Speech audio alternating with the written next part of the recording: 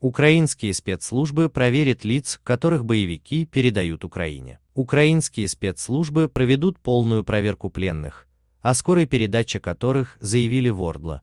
Им придется перенести дополнительную нагрузку.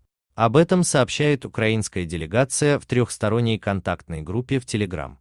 В ТКАК подчеркнули, что Украине неизвестны имена лиц, которые боевики собираются передавать, обсуждались ли они ранее в рамках ТКАК для списков на освобождение и в каком они состоянии. Также в заявлении сказано, что в этом случае Россия пытается провести передачу пленных в обход официальной процедуры освобождения в рамках ТКАК. Именно из-за этого пленные будут дополнительно проверены украинскими спецслужбами.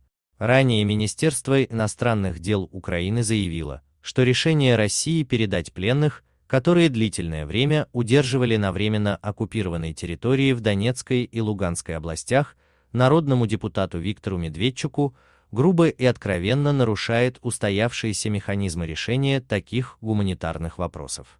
Напомним, ранее украинский омбудсмен Людмила Денисова заявила, что власти отдельных районов Донбасса передадут Украине в одностороннем порядке 9 человек.